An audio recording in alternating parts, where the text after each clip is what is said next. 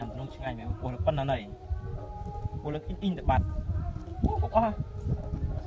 ណាញ៉ាំទៅប្លន់ដាច់ខ្សែបាត់អុយដាក់ថ្ងៃក្រោយទៀតញ៉ាំទៀតចេះដែរ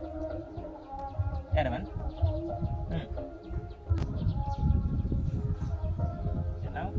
អូចេះដែរបើទៅទៀតអស់យកមកទៀត